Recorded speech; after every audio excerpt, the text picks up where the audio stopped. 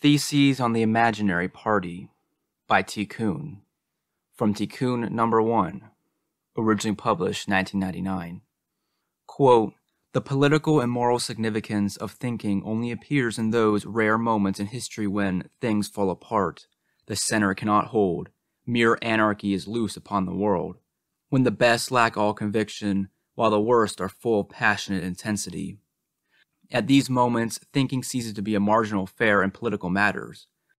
When everyone is swept away unthinkingly by what everybody else does and believes in, those who think are drawn out of hiding because their refusal to join is conspicuous and thereby becomes a kind of action. End quote. From Hannah Arendt's Thinking and Moral Considerations. 1. The imaginary party is a particular form taken by contradiction in the historical period when domination imposes itself as a dictatorship of visibility and dictatorship in visibility. In a word, as spectacle because it is above all merely the negative party of negativity, and because the sorcery of the spectacle, since it is unable to liquidate them, consists in rendering invisible all the expressions of negation, and that goes for freedom and acts as well as for suffering or pollution. Its most remarkable character is precisely that it is reputed to be non existent, or more exactly, to be imaginary. But people speak incessantly about it, and exclusively about it, since a little more every day it disrupts the proper operation of society. Still, people avoid saying its name. Could it be said, anyway? With the same fear as if they were invoking the devil. And people are quite right to do so. In a world that has so conspicuously become an attribute of the mind, pronouncements have the unfortunate tendency to become performative. Inversely, the nominal evocation of the imaginary party, even right here in these pages, may serve as its act of constitution. Up to now, that is, up to its naming. It could be no more than what the classical proletariat was before coming to know itself as a proletariat. A class of civil society that is not a class of civil society, but rather its very dissolution. And in effect, today, it comprises but the negative multitudes of those who have no class, and don't want to have any. The solitary crowd of those who have reappropriated their fundamental non belonging to commodity society in the form of their voluntary non participation in it. At first, the imaginary party presents itself simply as a community of defection, the party of exodus, the fleeting and paradoxical reality of a subjectless subversion. But this is no more the essence of the imaginary party than the dawn is the essence of the day it still remains to be seen how it will come fully into its own, and that can only appear in its living relationship with what produced it and now denies it. Quote, only he who has the dedication and will to make the future come into being can see the concrete truth of the present. End quote from Lukács, History and Class Consciousness. 2. The imaginary party is a party that tends to become real, incessantly, the spectacle has no other ministry aside from endlessly obviating its manifestation as such. That is, obviating its own becoming conscious, its becoming real. Since were it not to do so, it would have to admit the existence of the negativity of which, since the spectacle is a positive party of positivity, it is a perpetual denial. It is thus part of the essence of the spectacle that it acts like its opposition is just a negligible residue, makes it a total non value and declares it criminal and inhuman as a whole, which comes down to the same thing. Otherwise, of course, it would have to recognize that it itself is a criminal monster. That's why there are really only two parties in the society the party of those that claim that there is only one party, and the party of those who know that there are really two. That's all we need to know to see who is with us. 3. It is incorrect that people reduce war to the raw event of confrontation but they do so for reasons that can easily be explained. It would certainly be quite harmful to public order if it were to be seen for what it really is the supreme possibility, the preparation and adjournment of which are at work within all human groupings, in a continual movement of which peace is really but a moment. The same goes for the social war, whose battles can be perfectly silent and, in a manner of speaking, clean. They can hardly even be discerned in the sudden resurgence of the dominant aberration, in light of the facts, it must be acknowledged that the confrontations are exaggeratingly rare compared to the losses. 4.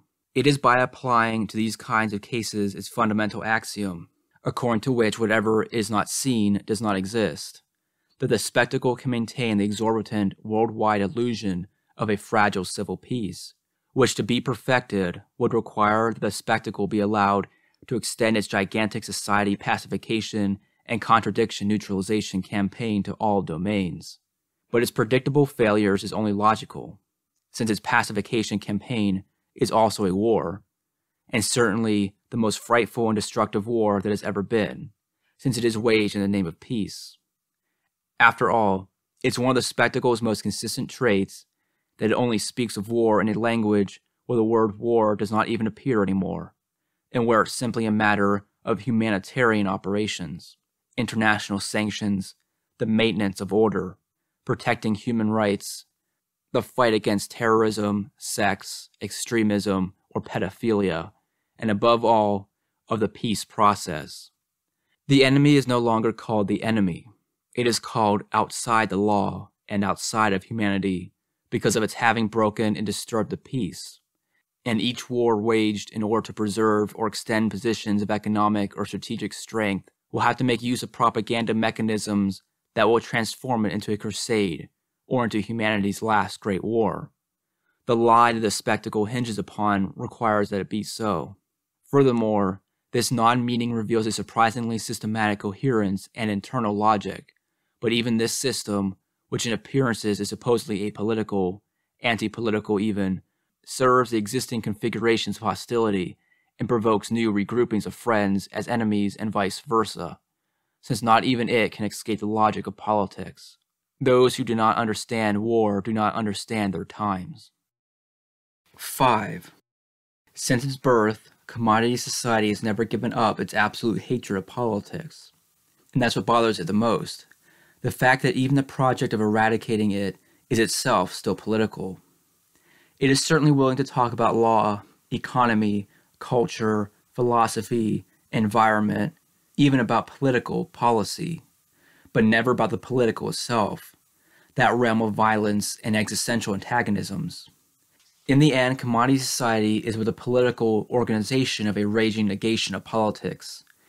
This negation invariably takes the form of a naturalization, the impossibility of which is betrayed and just as invariable in manner by periodic crises. The classical economy and the century of liberalism that corresponds to it, 1815 to 1914, was the first attempt and the first failure to bring about such a naturalization. The doctrine of utility, the systems of needs, the myth of the natural self regulation of markets, the ideology of human rights, parliamentary democracy, all these were means brought to bear over time in order to serve that purpose. But it was unquestionably in the historic period that began in 1914 that the naturalization of commodity domination came to take on its most radical form biopower. In biopower, the social totality, which little by little becomes autonomous, begins to take over life itself. On the one hand, we're seeing a politicization of the biological realm society has, over the years, more and more taken administrative responsibility for the health, beauty, sexuality, and mobilizable energy of each individual. On the other, we're seeing a biologicalization of the political, ecology, economy, the general distribution of well being and care, the growth, longevity, and aging of the populace. All these emerge as the principal subjects for measuring the exercise of power. And indeed, this is only the appearance of the process, not the process itself. In reality, it's about falsely setting up as obvious and as based on the body and biological life a movement towards total behavior control, control over representations and relations among people, forcing assent to the spectacle by each individual by making it out to be part of their instincts of self preservation, because it bases its absolute sovereignty on the zoological unity of the human race and on the imminent continuum of the production and reproduction of life. Biopower is that essentially homicidal tyranny that is exercised over each person in the name of all, and in the name of nature. All hostility to this society, whether that of criminal, the deviant, or the political enemy, must be liquidated because it goes against the best interests of the human species, and more specifically, the human species as it exists in the very person of the criminal, the deviant, and the political enemy. And so it is that each new diktat, restricting a little further our already pathetic freedoms, claims to protect each of us from ourselves by opposing to the extravagance of its sovereignty the ultima ratio of bare life. Forgive them, they know not what they do, says biopower, and readies the syringe.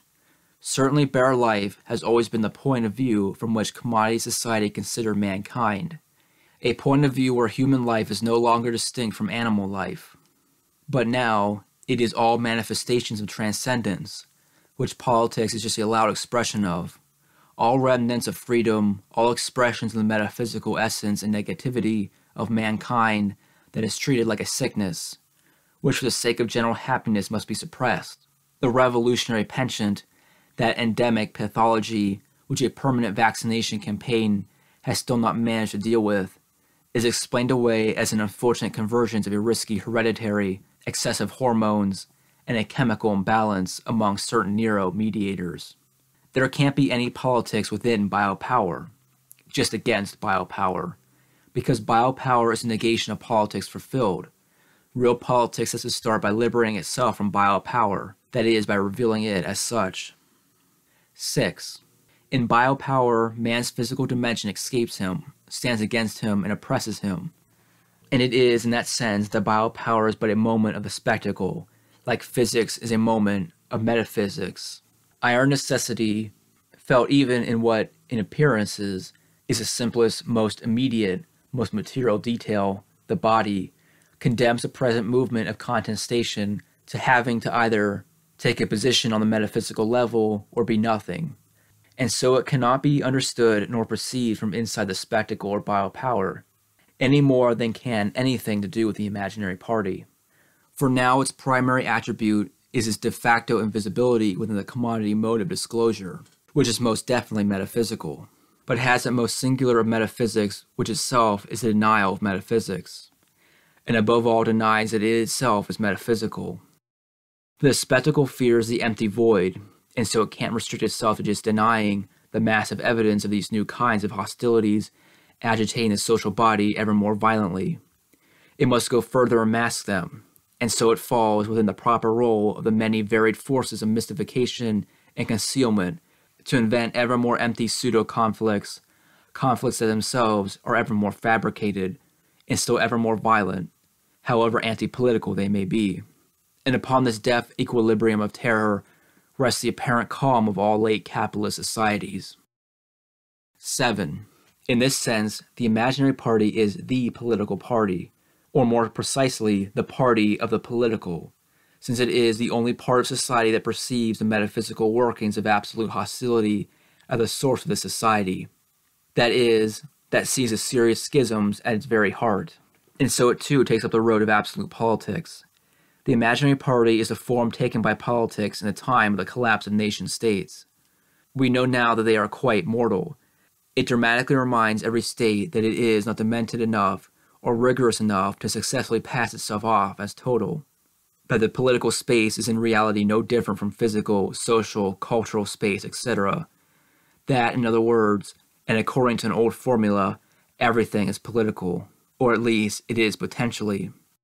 At this point, politics appears rather like the whole of those spaces that liberalism believed that it could fragment, premise by premise. The era of biopower is when, domination having applied itself to everybody, even individual physiology takes on a political character, in spite of the laughable alibi of biological naturalness. Politics is thus more than ever the total existential metaphysical realm where the movement of human freedom takes place. 8. In these darkling days, we are watching the final phase of the decomposition of commodity society, which we admit has lasted only too long.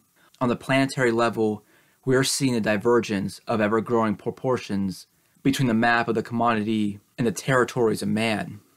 The spectacle stages a global chaos, but this chaos only manifests the now admitted inability of the economic vision of the world to understand anything about human reality.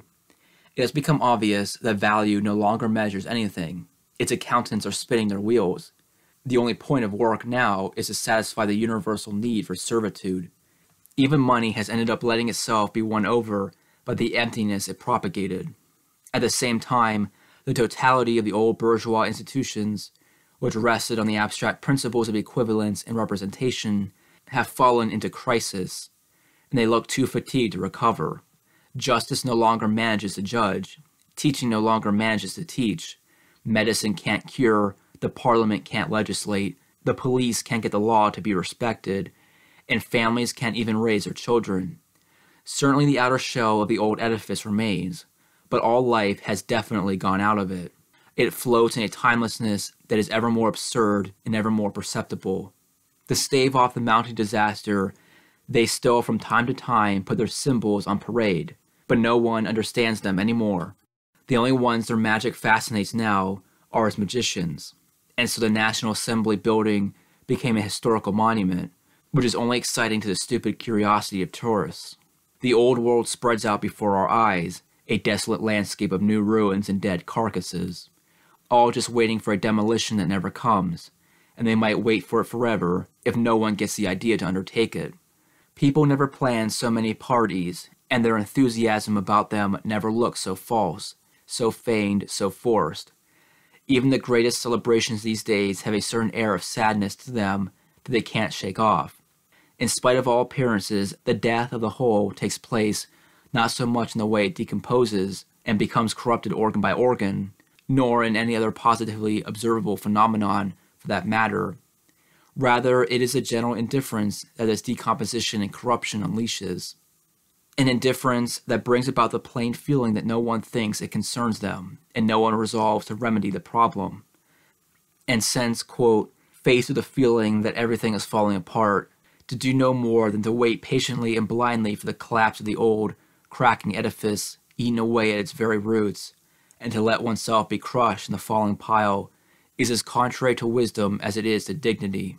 End quote from Hegel. We foresee the preparation of an inevitable exodus out of that old cracking edifice. From certain signs, the spectacular mode of disclosure makes impossible to decipher. Already masses of silent and solitary people have begun to appear, who have chosen to live in the interstices of the commodity world and refuse to participate in anything to do with it. It's not just that the charms of the commodity leave them doggedly cold, it's that they have an inexplicable suspicion about everything that ties them to the world it has built, which is now collapsing. At the same time, the ever more obvious malfunctions of the capitalist state, which has become incapable of any kind of integration with the society upon which it stands, guarantee that at its very heart there will subsist necessary temporary spaces of indetermination, ever vaster, ever more numerous autonomous zones. In many ways, this resembles a mass experience of illegality and clandestiny. There are moments where people already live as if this world no longer existed. During this time, like a confirmation of this bad omen, we see everywhere the hopeless tensing and tightening of an order that feels itself dying. People still talk about reforming the republic, when the time of republics is over. People still talk about the colors on flags when the time of flags itself is past. Such is the grandiose, immortal spectacle that unveils itself to whoever dares to consider our times from the point of view of their negation, that is, from the perspective of the imaginary party. 9. The historical period we are entering must be one of extreme violence and great disorder. A permanent and generalized state of exception is the only way commodity society can maintain itself when it has completely undermined its own conditions of possibility so as to set itself firmly in its nihilism. Certainly, domination still has force, physical and symbolic force, but it has no more than that. This society has lost its grip on the discourse of its critique at the same time as the discourse of its justification. It finds itself faced with an abyss, which it discovers is actually located at its very heart. And it is this truth, which can be felt everywhere, that it distorts endlessly by embracing at every opportunity the language of flattery, where the content of the discourse that the mind has with itself and about itself is the perversion of all concepts and all realities. It is the universal trickery of the self and the other, and the impudent expression of that trickery is thus the highest truth. And where the simple consciousness of the true and good can tell the mind nothing that it doesn't itself already know and say. In these conditions, if simple consciousness finally demands the dissolution of this whole world of perversion, it can nevertheless still not require the individual to remove himself from this world, because even Diogenes himself in his barrel is conditioned by it. Furthermore, this requirement posed to the singular individual is precisely what passes for evil, since evil consists in being concerned only for oneself as a singular being. The requirement for this dissolution can only be addressed to the very spirit of culture. Here we see the true description of the language that domination now speaks in its most advanced forms when it has incorporated into its discourse the critique of the consumer society and the spectacle and of their misery. The canal plus culture and the ineradicable spirits are fleeting but significant examples of this. It is more generally the scintillating and sophisticated language of the modern cynic, who has definitively identified all uses of freedom with an abstract freedom to accept everything, but in his own way. In his blathering solitude, his acute consciousness of his world prides itself on its perfect powerlessness to change it, and that consciousness ends up maniacally mobilized against self consciousness and all quest for substantiality. Such a world which, quote, knows everything as having become foreign to itself, knows being for itself as separate from being in itself, or the focus and the goal is separate from the truth, end quote, from Hegel. A world which, in other words, while effectively dominating has attached itself to the luxury of openly acknowledging its domination as vain, absurd, and illegitimate, only calls up against itself as the only response to what it expresses the violence of those who, deprived by it of all rights, draw their rights from hostility. People can no longer rule innocently. 10. At this stage, domination, which feels the life trickling out of it inexorably, has gone insane and claims a tyranny that it no longer has a means to maintain. Biopower and the spectacle are the complementary moments corresponding to this final radicalization of the commodity aberration, which appears to be its triumph and is but a prelude to its defeat. In both cases, it's a matter of eradicating from reality everything within it that exceeds representation. At the end, an unchained arbitrariness is attached to this ruined edifice that intends to regulate everything and annihilate as soon as possible anything that would dare to give itself an existence independent of it we are giving ourselves one. The society of the spectacle has become inflexible on this point. Everyone must participate in the collective crime of its existence. Nothing must be able to claim to remain outside of it. It can no longer tolerate the existence of that colossal abstaining segment which is the imaginary party. Everyone must work, that is, put themselves at its disposition at all times and be mobilized in order to achieve its ends. It makes equal use of the most brute means, such as the threat of starvation, and the most underhanded of means, such as the young girl. The dusty old tune of citizenship, which is sung everywhere in any and every subject, expresses the dictatorship of this abstract duty of participating in a social totality which has nevertheless become autonomized. And it is thus, from the very fact of this dictatorship, that the negative party of negativity, little by little, becomes unified and acquires positive content the elements, the multitude of indifferent beings, not knowing one another at all and thinking that they are part of no party, all find themselves facing a unique and central dictatorship the dictatorship of the spectacle, and the wage system, the commodity, nihilism, or the imperative of visibility are but partial aspects of that.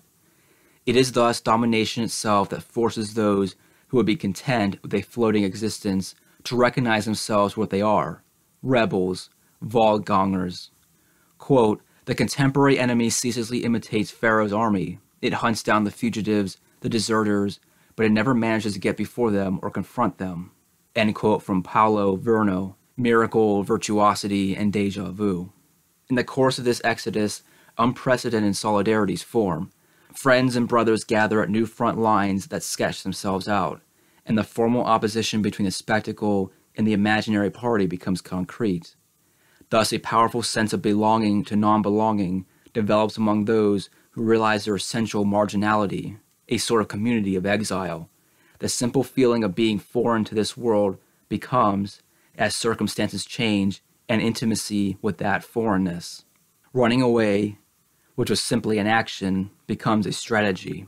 Now escape, called the 36th stratagem, is the supreme politics. But the imaginary party is already no longer just imaginary. It has begun to recognize itself as such and to slowly progress towards its realization, which will be its disappearance. Metaphysical hostility to the society has now ceased being lived in a purely negative mode, as a smooth indifference to anything that might come about, as a refusal to play along, as a defeat of domination via a rejection of domination. It has taken on a positive character, and one that is quite disturbing. Thus, power is not wrong, in its paranoia, to see terrorists everywhere. It is a cold, clean hatred, like a kind of chest pain, a hatred which, for the time being, does not openly, theoretically express itself, but rather shows itself as a practical paralysis of the whole social apparatus, a mute and obstinate malice, the sabotage of all innovation, all movement, and all intelligence. There is no crisis anywhere. There is only the omnipresence of the imaginary party, whose center is everywhere and circumference nowhere, since it operates on the same territory as the spectacle. 11. Each of society's failures must be understood positively, as should the work of the imaginary party and the work of negativity. That is, of what is human. Any war like this, everything that denies one of the parties, even if only subjectively, objectively backs the other one. The radicalness of our times imposes its conditions. Regardless of the spectacle, it is the notion of the imaginary party that renders visible the new configuration of hostilities. The imaginary party encompasses everything that conspires to destroy the present order in thought, word, or deed. The disaster is its doing. 12. Up to a certain point, the imaginary party is a specter, the invisible presence, the fantasized return of the other to a society where all otherness is suppressed, where the reduction of everything separate to equivalence is generalized. But this bad dream, this suicidal ideation running through the spectacle's mind in light of the present character of social production, itself imaginary, must soon engender its reality as consciousness becoming practical, as immediately practical consciousness. The imaginary party is the other name for the shameful sickness of power when it has been weakened. Paranoia, which Canetti only too vaguely defined as an illness of power. The desperate and planet wide deployment of ever more massive and sophisticated apparatuses for the control of the public spaces materializes in a piquant way the asylum grade madness of domination when it's been wounded. It still pursues the old dream of the Titans, the dream of a universal state, when it is just another midget like the rest of them, and that makes it sick.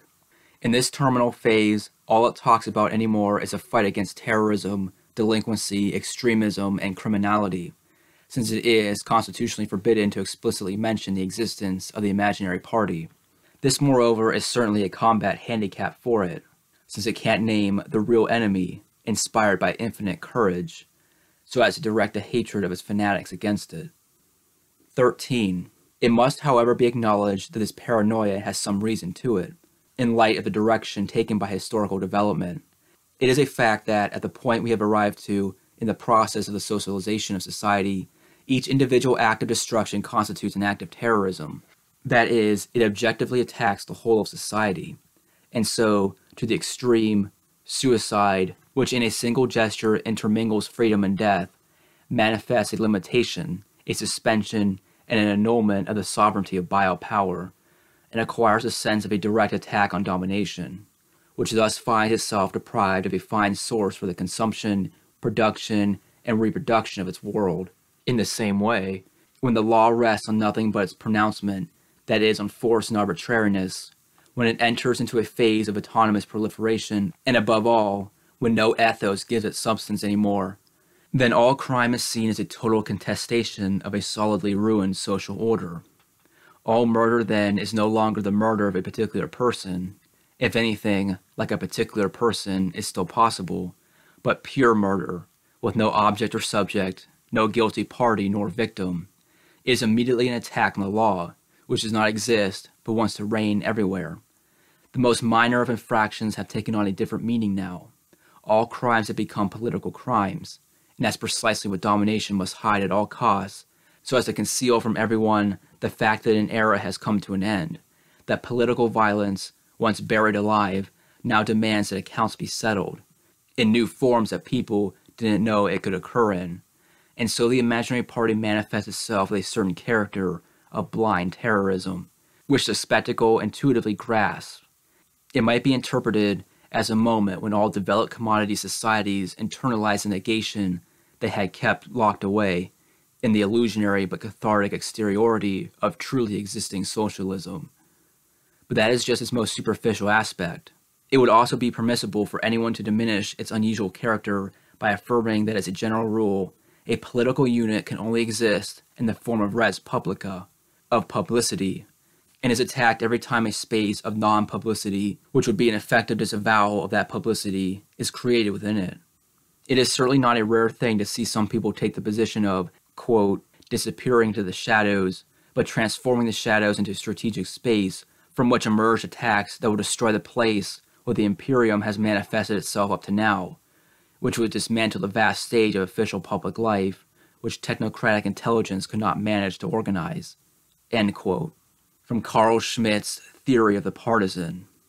It is a constant temptation, in effect, to conceive of this positive existence of the imaginary party simply as a guerrilla war, as civil war, as partisan war, as a conflict without precisely established front lines, nor declarations of hostilities, without armistices or peace accords.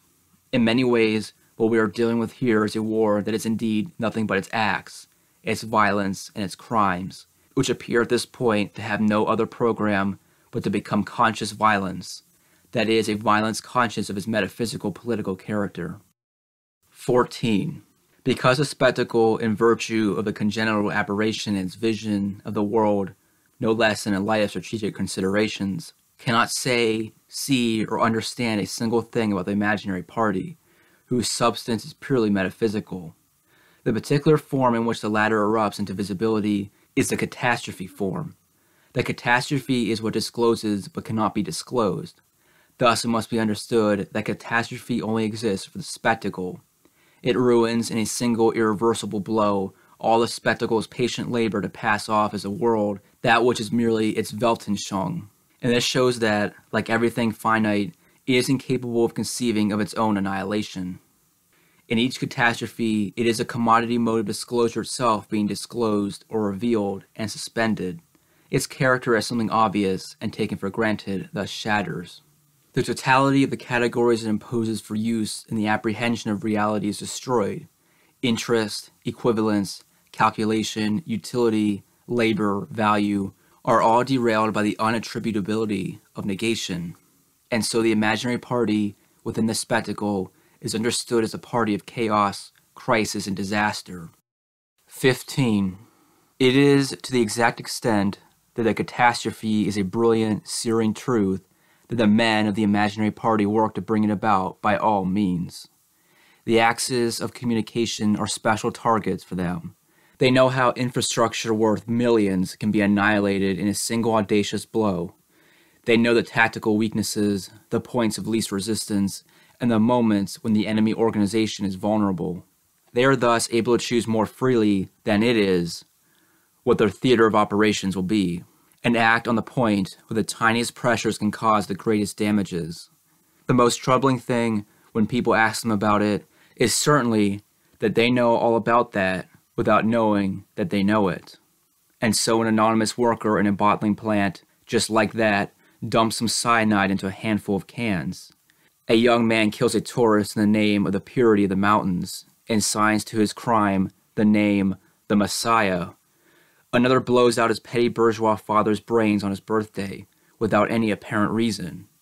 Yet another suddenly opens fire on the peaceful flock of his schoolmates. And another gratuitously throws cinder blocks down into passing cars on the freeway below from an overpass, when he's not setting them on fire in their parking lots. In this spectacle, the imaginary party does not appear to be comprised of men, but of strange acts, in the sense understood by the Sabbatean tradition. These acts themselves are, however, not connected to one another, but are systematically locked away as exceptional enigmas. People would never think of seeing in them the manifestations of one and the same human negativity, because people don't know what negativity really is. Besides, people don't even know what humanity is, or even if such a thing exists. all this comes off as somewhat absurd, and indeed there isn't much that doesn't at this point. Above all, people don't want to see that these are actually all attacks directed against them and their ignominy. And so, from the spectacular point of view, from the point of view of a certain alienation of the state of public explanation, the imaginary party is a mere confused ensemble of gratuitous, isolated criminal acts, the meaning of which their authors don't grasp, just a periodic eruption into visibility of ever more mysterious forms of terrorism. All things that end up producing the displeasing impression that in the long run, people aren't safe from anything at all in the spectacle that an obscure threat is weighing down on the empty task sequencing of commodity society. Doubtless, what we're dealing with is a generalized state of exception. In either camp, no one can really claim security or safety anymore. That's fine. We now know that the denouement is close at hand. Quote, lucid holiness recognizes in itself the need to destroy, the necessity of a tragic outcome. End quote from Bataille's Guilty. 16. The effective configuration of hostilities that the notion of the imaginary party makes legible is essentially marked by asymmetry.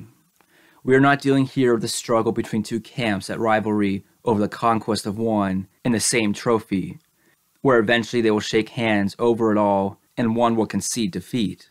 Here the protagonists move on two levels so perfectly foreign to one another that they only meet at very rare points of intersection, and to say the least, sort of randomly. But this foreignness is itself asymmetrical. Because although for the imaginary party the spectacle has no mystery to it, the imaginary party must remain forever arcane to the spectacle. What ensues from this is a strategic consequence of the greatest grandeur. Whereas we can easily identify our enemy, which is after all the identifiable par excellence, our enemy cannot identify us. There is no uniform for the imaginary party, since uniformity is a central attribute of the spectacle. And so all uniformity must now feel itself threatened, along with everything that uniformity acts as a currency for. In other words, the imaginary party only recognizes its enemies, not its members. Its enemies are precisely all those that people recognize. The men of the imaginary party, by reappropriating their bloom being, reappropriate the anonymity that they have been forced into. In so doing, they turn against the spectacle, the very situation that it put them in, and use it to make themselves invincible. In a certain way, they make the society pay for the imprescriptible crime of having deprived them of their name, that is, the recognition of their sovereign singularity and thus of all properly human life, for having excluded them from all visibility, all community, all participation, for having thrown them out into the indistinct mass of the crowd, into the nothingness of ordinary life, into the suspended animation of the mass of Homo Sacer, for having walled off their existence from any access to meaning. This condition, which people would like to keep them in, is where they start from, by leaving it. It is perfectly insufficient, however, indicative of a certain intellectual impotence, to remark that in this terrorism, innocent people receive the chastisement, quote, that they are nothing, that they have no destiny, that they are dispossessed of their name by a system that is itself anonymous, consigned to an anonymity that they then become the purest incarnation of, because they are finished products of a social, of an abstract sociality which has now become globalized. End quote from Baudrillard. Each of these murders, without any identifiable motive or particular victim, each of these anonymous acts of sabotage constitutes an act of tikkun, it executes a sentence that this world has already proffered against itself. It reduces to nothingness that which the spirit has abandoned. It kills what was not living, but merely surviving itself. It reduces to ruins what for so long was merely remnants. And though it must be acceptable that these acts be called gratuitous, it is only because they only aim to manifest that which is already true, but is still hidden, to realize what is already real, but not recognized as such. They add nothing to the course of the disaster. They merely acknowledge it and put it into acts. 17. The fact that its enemy has no face, no name, and nothing identifiable about it, that it still presents itself, in spite of all colossal plans, in the guise of a perfectly normal bloom, that's what sets off Power's paranoia most. Johann Georg Elser, whose bomb attack in Munich on November 8, 1939 almost killed Hitler, were not for a narrow, lucky escape, provides a model which in the years to come will plunge commodity domination into an ever more perceptible panic. Elser was a model bloom. However unacceptably contradictory it may be to say that. Everything about him evokes neutrality and nothingness. His absence from the world was complete, his solitude absolute, his very banality banal. Poverty of spirit, a lack of personality, and insignificance were his only attributes, but they can never really make him stand out as singular. When telling the story of his totally ordinary life as a carpenter, it all comes off as endlessly impersonal. Nothing appears to have stirred any passion in him. He was equally indifferent to politics and ideology. He didn't know what communism meant or what National Socialism meant, even though he was a worker in Germany in the 1930s and when the judges interrogated him about the motives for his act, which took him a year to prepare with the most meticulous care, all he could manage to mention was the increased deductions being taken out of the workers' wages. He even declared that he had no intention of eliminating Nazism, but just of getting rid of a few men he thought were bad people. And this was the kind of being that nearly saved the world from the unparalleled suffering of a global war. His plans were based only on a solitary resolve to destroy what denied his existence what was unspeakably his enemy, what represented the hegemony of evil. He drew his right to do so from himself, that is, from the explosive force of his own decision. The party of order will have to face, and is already facing, the proliferation of such elementary acts of terrorism which it cannot understand nor predict, since they are authorized by nothing more than an inexhaustible metaphysical sovereignty, the insane possibility of disaster that each human existence contains within it in however infinitesimal a dose. Nothing can protect anyone from these eruptions, which attack society itself in response to the terrorism of social issues, not even fame and glory. Their target is as vast as the world itself, and so everything that attempts to remain within the spectacle must now live in the terror of a threat of annihilation, and no one knows where it's coming from or what it's about. And all anyone can tell is that it's intended to serve as an example the lack of any decipherable goal in such scandalous actions as these is necessarily part of the goal itself, since that's how they show their exteriority, their foreignness, their irreducibility to the commodity mode of disclosure. And that is how they corrode that mode of disclosure. It's a matter of spreading the disquiet that makes men into metaphysicians, spreading the doubt that breaks down level by level the dominant interpretation of the world. It is thus in vain that people would attribute to us any immediate goal, if not perhaps the hope of provoking a more or less lasting breakdown in the machine as a whole.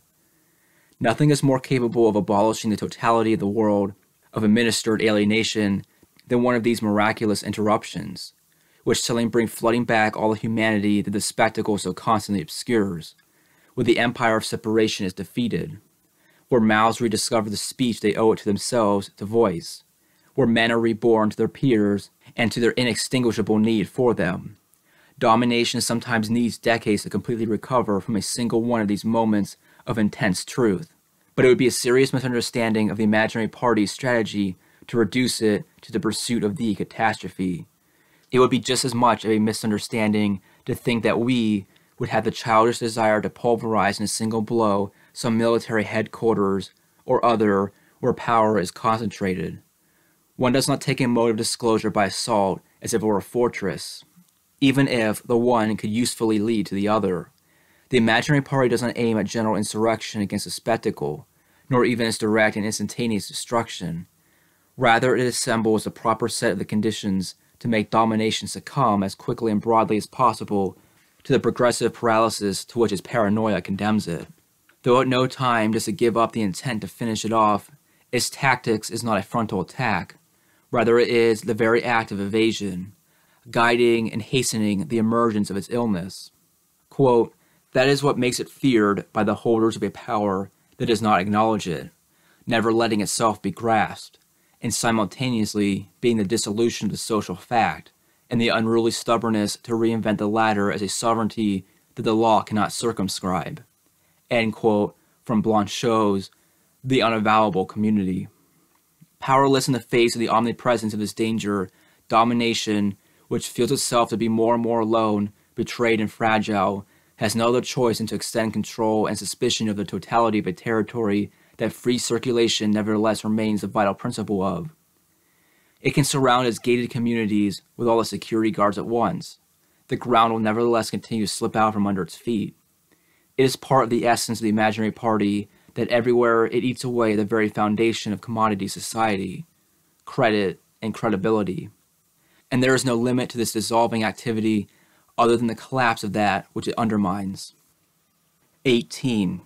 It is not so much the content of the imaginary party's crimes that tends to ruin the imperium of bloodthirsty peace as it is their form, because their form is that of a hostility with no precise object, a fundamental hatred that erupts from the most unfathomable interiority with no regard for any obstacle, from the uncorrupted depths where man remains in true contact with himself. That's why force emanates from them that all the spectacles blather cannot dam up. Japanese children, who one might fairly consider a kind of frantic, violent avant garde of the imaginary party, have created verbal locutions to name these heights of absolute rage, where something carries them away, which is them, but not them, which is indeed much bigger than they are. The most widespread of them is mukatsuku. At root, it means to be nauseous, i.e., to be overtaken by the most physical of metaphysical sensations. In this special kind of rage, there is something somehow sacred. 19. It is, however, obvious this spectacle, faced with these massacres, crimes, and catastrophes besieging it, faced with its growing weight of the unexplainable, can no longer be content to affirm that there is a chasm opening in its vision of the world. And expresses this, moreover, without beating around the bush. Quote, it would certainly be preferable if this violence were the fruit of misery, of terrible poverty. That would be much easier to deal with. End quote from the Thursday event, September 10th, 1998. As we can observe with breathtaking regularity, its first act is, at all costs, to put forth an explanation, even if it ruins everything that's based on in theory. And so, when the pathetic Bill Clinton was called to explain and draw the consequences of the beau geste of Kaplon Kinkel, an exemplary bloom in many respects, he could find nothing more than blame the influence of the new culture of violent films and games.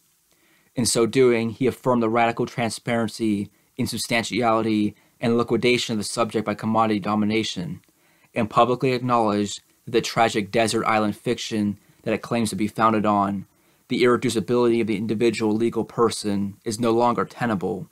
He thus artlessly undermined the very principle of commodity society, without which law, private property, the sale of labor power, and even what he calls culture is at the most just a piece of fantasy literature.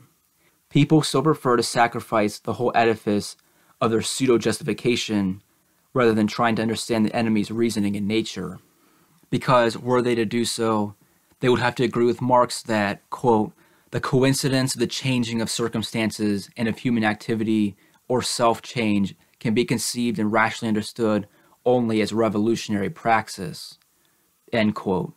And though people try so hard to hide it, they will eventually fall back and confess it at the painful moment when they at last have exhausted themselves with ridiculous blather about the non existent psychology of the blooms who finally take an action. In spite of these endless considerations, one cannot prevent oneself from feeling that, indeed, it is people themselves being judged and society being accused. It is only too obvious that the origin of these blooms gestures has nothing subjective about it. In its sacredness, it quite simply opposes the objectivity of domination.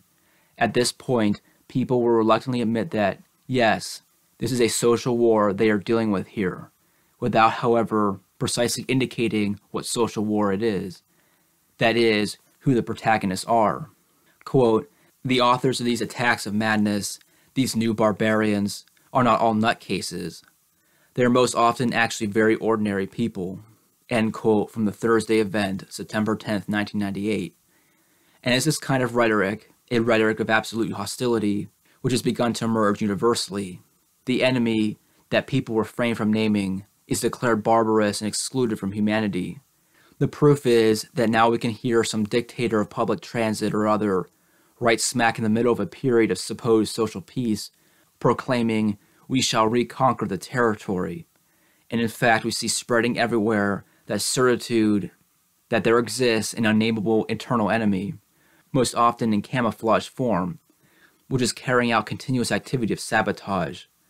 But this time, unfortunately, there won't be any more kulaks to eliminate as a class. So it would be quite wrong to not subscribe to the paranoid perspective that thinks that behind the inarticulate multiplicity of the manifestations of the world, there is a unique will, armed with dark intentions. Because in a world of paranoids, the paranoids are right. 20.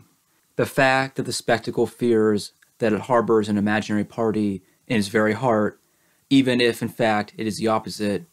In effect, it is really the imaginary party that harbors a spectacle in its aura, clearly portrays a suspicion that by qualifying these acts of destruction as gratuitous, it has not really said all there is to say about them. It is flagrantly conspicuous that the whole ensemble of the misdeeds that people attribute to these madmen, these barbarians, these irresponsible individuals, merge adjacently into a unique, non formulated project the liquidation of commodity domination. In the final analysis, it is always objectively a matter of making life impossible for it, of propagating disquiet, doubt, and distrust, of doing whatever damage is possible to whatever modest extent each person's means permit. Nothing can explain the systematic absence of any remorse among these criminals but the mute sentiment that they are participating in a grandiose oeuvre of devastation. In all obviousness, these men, themselves insignificant, are the agents of a severe, historical, and transcendent reasoning that demands the annihilation of this world, that is, the fulfillment of its nothingness. The only thing that distinguishes them from the conscious fractions of the imaginary party is the fact that they are not working for the end of the world, but for the end of a world. And this difference may at a given moment give sufficient room for a most reasoned hatred but that is inconsequential for the imaginary party itself, which must remain the next figure of the mind. 21. The men of the imaginary party carry on an irregular warfare. They are engaged in a kind of Spanish war the spectacular occupier bankrupts itself, stationing troops and munitions in a paroxysmal dialectic holds sway within the terms of which the strength and significance of the irregulars are determined by the strength and significance of the regular organization they attack, and vice versa. The imaginary party can count on the fact that a handful of partisans is enough to immobilize the whole party of order. In the war being waged at present, there is no jus belli left. The hostilities are absolute. Even the party of order itself sometimes doesn't shy away from acknowledging it. One must operate as a partisan everywhere there are partisans. It's enough to know how prisons have changed over the last decade and look at the habits that the various kinds of police have gotten into when it comes to the way they deal with the fringe elements to understand what that watchword can mean in terms of bloodthirsty arbitrariness. And so, as long as commodity domination continues to exist, the men of the imaginary party will have to expect to be treated like criminals, or be hunted like game, depending. The disproportionate magnitude of the weapons and punishments that people now wield against it has nothing to do with any particular juncture in the politics of oppression. It is consubstantial with what they are, and what their enemy is.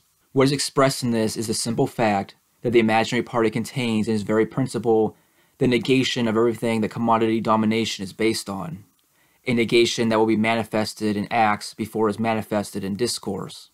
The coming rebellion will be different from the revolutions of the past in that it won't call upon any of the age old transcendences, rendered detestable by being worn down to a thread so continually by so many oppressive regimes thirsty for justification. At no moment will it claim to draw its legitimacy from the people, from public opinion, the church, the nation, or from the working class, even in an attenuated manner. It will base its cause on nothing, but that nothing is nothingness itself, which, as we know, is identical to being.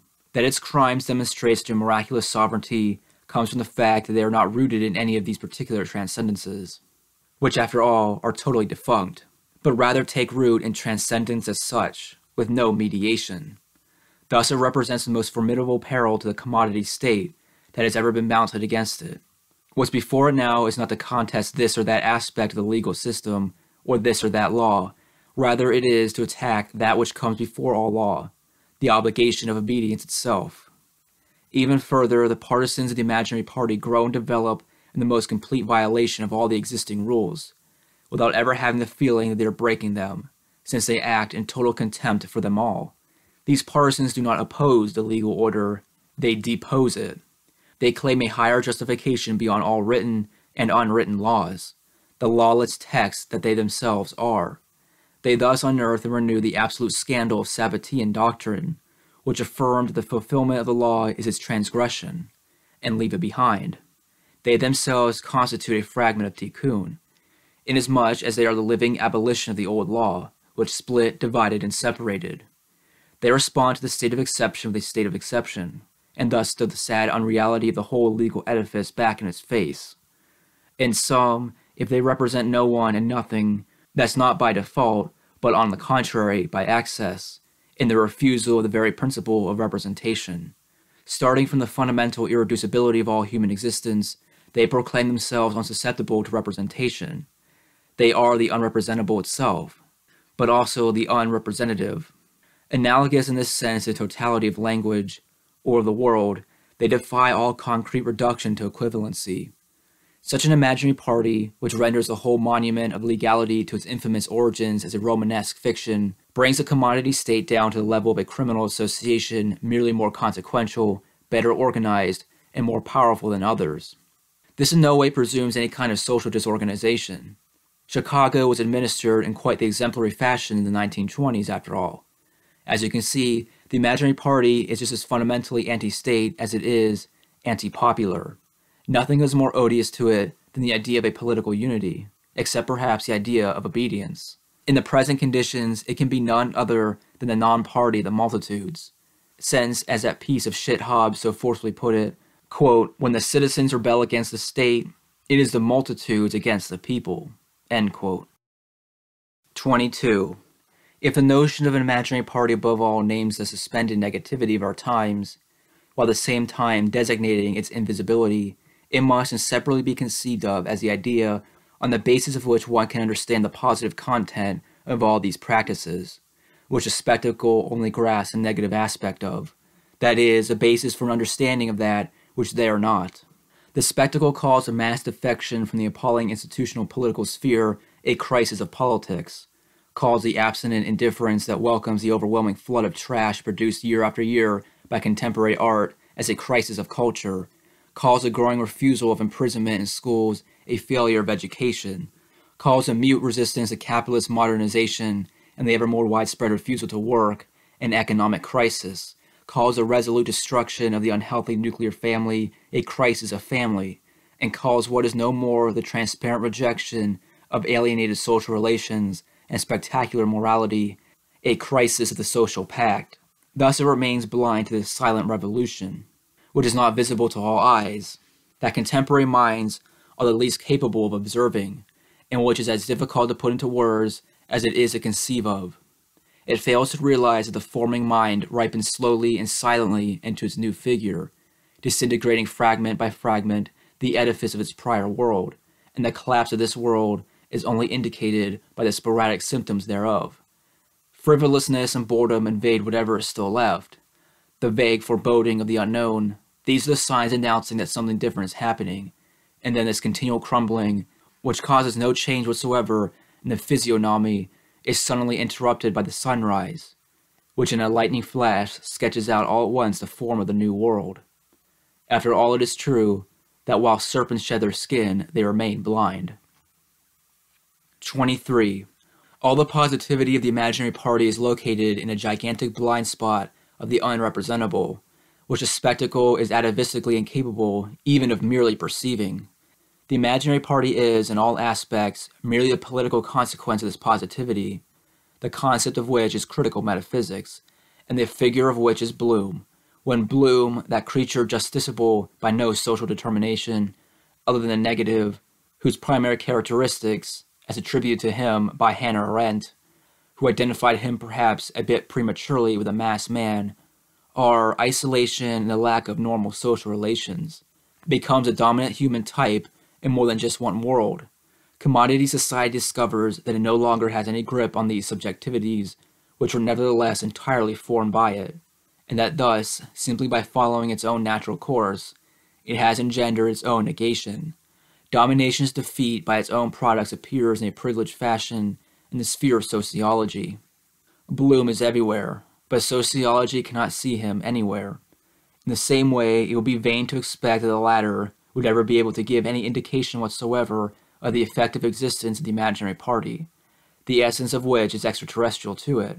And this, be it said in passing, is but one of the aspects of the death of sociology, which has definitively spoiled the socialization of society and thus also sweeps away the socialization of sociology. In this process, it disappears upon becoming realized and is made ridiculous as a separate science by its very lackeys, who in the meantime are forced to become themselves their own sociologists. And so, as soon as a central, unique, indifferentiated instance of authority, the spectacle, takes over the continual secretion of all social codes, the social sciences have their share reduced to the mere weight of their lies, from Weber to Bourdieu. With the death of sociology, a whole sector of classical social criticism based on sociology and as sociology shows its double dealing, servile essence by collapsing. That kind of criticism is no longer able to keep up with the times. It is no longer apt to describe them or to contest them. This task now falls to critical metaphysics. 14. Up to now, the front lines along which friends and enemies of the dominant order are arranged have been very poorly sketched out as continual and linear. This representation must now be replaced by an image of innumerable circular front lines, each of which has its space-time located within communities of human beings, practices, and language that are in a state of absolute rebellion against commodity domination, in which the latter besieges ceaselessly in keeping with its immanent logic. Everything that contributes to the maintenance of the old representation belongs in the enemy camp. The first consequence of this new geometry of struggle has to do with the form subversion spreads in. Faced with the world of the authoritarian commodity, we are no longer dealing with the advance of a battlefront company after company, that of the poor, the workers, the wretched of the earth, but with a contagion, similar to the succession of concentric waves on the surface of a pool of mercury when a drop falls into it.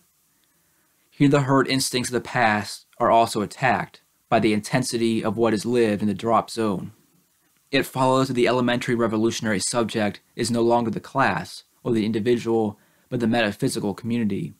Whatever its degree of exile may be, this is what testifies to the fundamentally insignificant and inconsequential default character of all personal adventures and all private histories of the spectacle. A good geometrician does not consider it exaggerated to reduce the world as a whole to these minuscule, dispersed focuses. Since everything that is not them, everything that does not give life to a particular and shared existential content, is dead, beyond the boring waltz of appearances. Each of these metaphysical communities arises from an extreme world, where men can no longer find one another except on the basis of essentials and constitutes an exclusive pole of substantiality in the middle of the desert. All recognition that does not have its own laws and all simple superficiality are excluded from within it. There the conditions are created in which the absolute can recover its temporal pretensions, and possibilities are opened up that had been lost since the millenarian uprisings and the Jewish Messianic movements of the 17th century. Whatever people may say about it, the acute demand for new strength and a new language, which is felt there, shines a light clarifying things far beyond the misery of our times. And that is precisely what the forces of decomposition fear, forces which promise such excessive favor to those who consent to renouncing themselves in order to be loved by them. The imaginary party, above all, refers only to the positive fact of this multitude of autonomous zones, free from commodity domination, which are experiencing here and now, beyond the reach of the deteriorization of the alienated common, in the last death throes of a perishing social organism, their own forms of publicity. Up to now, there has been no federation to it except by intellection, and that which bonds them is in effect at first merely a passive character. These are the communities in which the meaning and form of life is more important than life itself, where the duty of being has been elevated up to the point of incandescence. They thus share the same metaphysical substance, although they still don't know it. It is only under the black auspices of their common persecution by the global hegemony of the commodity that they must come to recognize themselves for what they are fractions of the imaginary party. There is something ineluctable about this process. The resistance of these communities put up to the generalized reduction of equivalency expressly sets them out before the roller compactors of the reigning abstraction. But in the end, the only identifiable effect of this oppression is that these independent universes see themselves forced by their enemy to leave the immediacy of their own particularity one by one, and to receive their universal character from their enemy in the course of their struggle against it. And it is to the precise extent that this enemy is none other than a permanent effort for the negation of metaphysics that they attain to the consciousness of what unites them, not the affirmation of any one metaphysics in particular, but of metaphysics itself as such. This bond, which is certainly not immediate, is in no way formal and not at all a construct. Rather, it is something that precedes all freedom and gives it its very foundation, an existential, absolute, concrete hostility to commodity nihilism. It follows from this that, contrary to everything that has been called a party in the past, the imaginary party does not need a convergence on a general united intent or will, because it already shares the common. Here identified with a language, mentality, metaphysics, or even a politics of finiteness. And in these circumstances, all these terms become pseudonyms for one and the same unspeakable thing.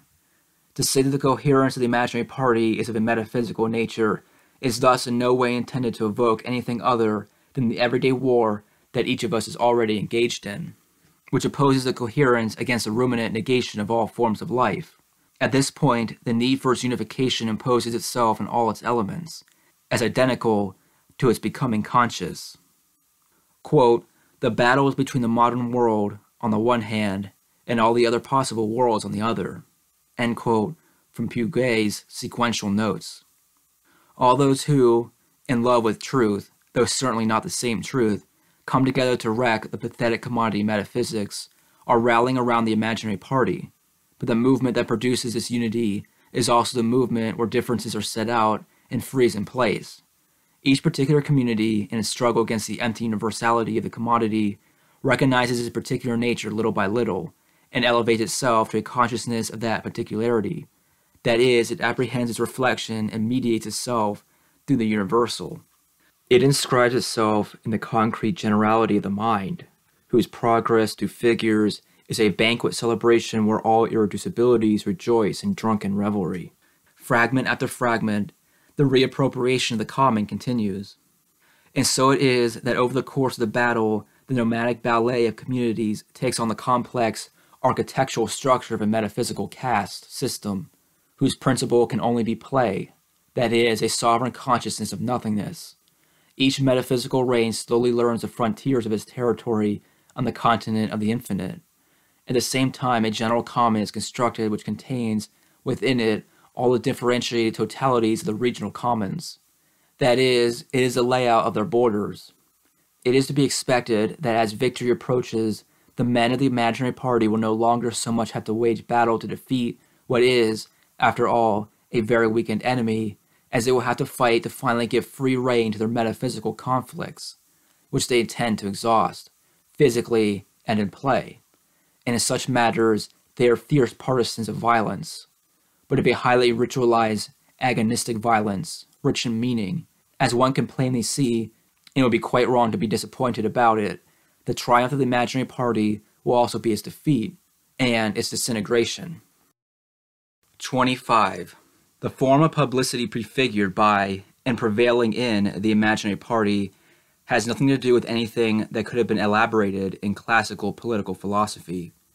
If we really had to attribute some ancestry to it, we would have to harken back to what was figuratively sketched out in those rare and precious moments of insurrection that arose in the Soviets, the communes, the Aragonese collectives of 1936 and 1937, or in the secret schools of the Kabbalah the Safed school, for instance.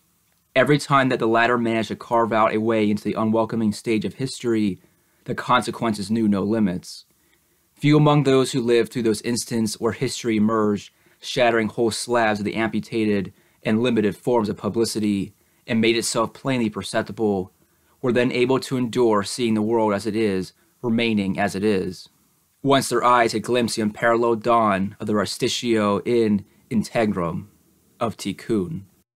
But it is now a necessary consequence of evolution as it has taken place in all developed commodity societies that this thing, which we have only seen violently breaking and entering, has now taken up residence in silence and calm for the long haul, unperceived, with its advancement apparently taken for granted. A strange spectacle indeed, This world where the dominant forms of existence are known conceptually to have been transcended, but persist within being, as if it were nothing, while beyond the extreme alienation of publicity imposed by the spectacle and as a counterweight thereunto, we see the dawning, though still mingled together with the contrary principle of a humanity which feeds exclusively on meaning, adulterated though it may be. Liberated from the need to produce, freed from the chains that bound them to working landed estates, fragile worlds take shape in which elective affinity is everything, in servitude nothing. The ruins of the metropolises already have nothing living within them besides these fluid human aggregates of individuals, who, finding no more real reason for their alienation, scurry around in it in all directions. The slavery of the men of the spectacle appears just as extravagant to them as their freedom appears incomprehensible to the former. In the suspended animation of their existence, the problematic nature of the world has ceased to be problematic. It has become the very material of the life they live. Language no longer appears to them as a laborious exteriority that must first be recovered in the self and then applied to the world. It has become the immediate substance of the latter.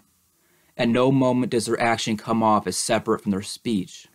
And so then we can understand that the spectacle, where politics and economics remain abstractions separate from metaphysics, represents for them a bygone figure of publicity. But it is, in fact, all the old, petrified dualisms that have been abolished in a substantial continuity of meaning. In these totalities, rich in meaning, full and open, eternity takes up residence within each instant, and the whole universe in each of its details. Their world, the city, shelters them as an interiority, while their interiority takes on the dimensions of a whole world. In a partial and unfortunately reversible and provisional manner, they are already within the, quote, restoration of the broken unity of the real the transcendent, end quote from Lukács. Were it not for the caprices of domination, their lives would by themselves tend towards the realization of all the human potentialities that they contain. This coming figure of publicity corresponds to the maximum deployment of that realization. That is, it espouses language without the slightest reserve. Indeed, it is language, as it knows silence. There the essence is no longer separate from the appearance, but man has ceased to confuse them with himself. There the mind has its residence, and it peacefully watches its own metamorphosis. Language is a unique, new, and eternal law, which goes beyond all the past laws which it was, after all, but the material for, though in a frozen state.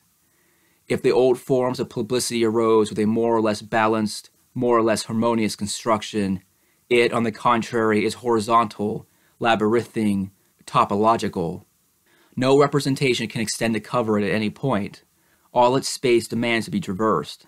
As for the operational structure of the imaginary party, as for the innervation of this world, it is not comprised of any kind of vertical delegation system at all, but of a mode of transmission which itself is party of the limitless horizontality of language.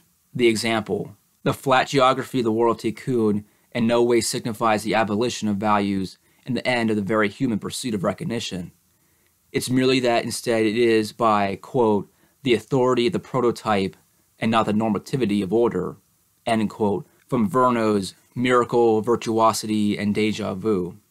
That it is there permissible to men, as it is now to the fractions of the imaginary party, to impose their excellence. The map of the world we are sketching out is none other than the map of the mind. It is at present this publicity of the mind that is everywhere overflowing with a party of nothingness, whose idiocy and tactlessness become more ferocious and more intolerable every day, and we will inevitably put an end to it. 26. The all out war waged by the spectacle against the imaginary party and on freedom has doubtless already devastated whole regions of the social space. People have decreed that protective measures be implemented in that space, measures that the world had been accustomed to only in global conflicts curfews, military escorts, methodical collection of personal information for databases, arms and communications control, takeover of whole sectors of the economy, etc. The men of these times are marching straight into a world of maniacal fear. Their nightmares are populated by tortures that are already no longer just the stuff of dreams. Once again, one hears people speak of pirates, monsters, and giants. tied to the progress of a universal sentiment of insecurity, everyday facial expressions show the demonstration of a fatal and continual accumulation of petty nervous exhaustions. And since each era dreams of the era to come, little big shots proliferate, who fight for control over public space, which has already been reduced to a mere space of circulation. The weakest minds given easily to insane rumors that no one can confirm or deny, and infinite darkness fills the distance men leave between each other. Every day, in spite of that growing darkness, the gloomy outlines of the Civil War are clarified a little more. A civil war where no one knows who's fighting and who isn't, where the only limit to the confusion is death, where in the final analysis, the only thing that is certain is that the worst is yet to come. And so we remain, before the coming birth, within the obvious disaster. But nothing keeps our gaze from going beyond it. It appears then that these are the birth pangs, that no new era has the right to be exempt from. He who squints to see in the night the coming clash of the Titans will discover that all this desolation, all this deaf echoes of cannon blasts, all these faceless cries are but the doing of the lone, hideous Titan of commodity domination, which, in its bloodthirsty delirium, is struggling, howling, firing at will, stomping its feet, convinced that someone's after him, barking insane orders, rolling around on the ground, and ending up slamming his whole weight against the walls of his living room. From the depths of his madness, he swears that the imaginary party is the darkness surrounding him, and that it must be abolished. He appears to really have a problem with this nefarious territory, which insists on never agreeing with his maps, and already he threatens it all with the worst reprisals. But as his day wears on, no one's listening anymore. Even his closest subjects lend no more than a distracted ear to the demented old fool as he huffs and puffs. They just pretend to listen, then wink a knowing eye. 27. The imaginary party expects nothing from the present society in its evolution, because practically, that is, in its real acts, it is already its very dissolution and that which lies beyond it. Consequently, it cannot be a matter of taking power, but only defeating domination everywhere, by making it durably impossible for its apparatus to go on functioning. The temporary, and in places even the figurative character of the contestation at work under the banner of the imaginary party can be explained by this it guarantees that it itself will never become a power. That's why the violence it takes recourse to is of a totally different nature than the spectacle's violence. And that's also why the latter is, in fact, just struggling alone in the darkness. Even when commodity domination unleashes its, quote, freedom of the void, its negative will that only feels its existence when it's being destroyed, end quote from Hegel, whereas its violence without content only aspires to the infinite extension of nothingness. The exercise of violence by the imaginary party, unlimited as it may be, is only attached to the preservation of forms of life that centers of power are preparing to alter, or already threaten. That is where its incomparable force and aura comes from.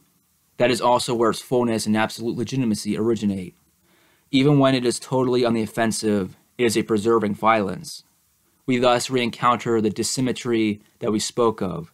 The imaginary party does not have the same goals as domination does, and if they are concurrent, it's only because each of them wants to destroy that which the other pursues, the realization of. The difference is the spectacle wants no more than that. Whether the imaginary party will defeat commodity society and make that victory irreversible or not will depend on its ability to give intensity, grandeur, and substance to a life freed from all domination, no less than on the aptitude of its conscious fractions to explain it in their practice as much as in their theory. It is to be feared that domination will find a generalized suicide, where it will, at least, be guaranteed to take its adversary down with it, preferable to his defeat. But from start to finish, that's the bet we're making. It's going to be up to history and its frozen operation to judge whether what we're undertaking is merely a beginning or already an end. The absolute is in history.